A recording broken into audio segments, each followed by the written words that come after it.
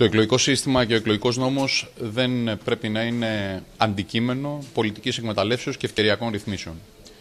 Για το ζήτημα της κατατμήσεως της Β' Αθηνών είναι ένα θέμα το οποίο ούτως ή άλλως η Νέα Δημοκρατία έχει εδώ και καιρό θίξει, αναδείξει και συμφωνήσει.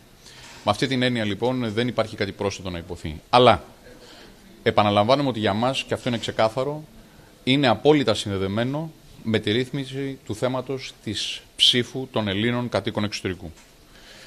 Είναι συνδεδεμένο γιατί αυτό είναι ζήτημα ισοπολιτείας, ισονομίας, βασικών εκλογικών δικαιωμάτων που σήμερα αποστερούνται οι Έλληνες οι, οποίες, οι οποίοι έχουν φύγει από την πατρίδα μας όλα αυτά τα τελευταία χρόνια, αλλά και προγενέστερα. Στο ζήτημα αυτό είμαστε ξεκάθαροι, θέλουμε ενιαία ρύθμιση, θα συνενέσουμε και θα συμπράξουμε μόνο σε περίπτωση που υπάρχει ενιαία ρύθμιση και σε καμία άλλη περίπτωση. Θα γίνει Η θέση, από ό,τι κατάλαβα του Υπουργού, είναι ότι τα βλέπει ξεχωριστά τα θέματα και επομένως σε αυτό το σημείο δεν υπάρχει συμφωνία. Υπερασπίζεται τη θέση ότι μπορούν να ψηφίζουν και οι τρίτης γενιάς Έλληνες απόδομοι. Αυτή τη στιγμή μιλάμε με την θέση και την πρόταση νόμου που η Νέα Δημοκρατία έχει ήδη από το 2016 καταθέσει στη Βουλή.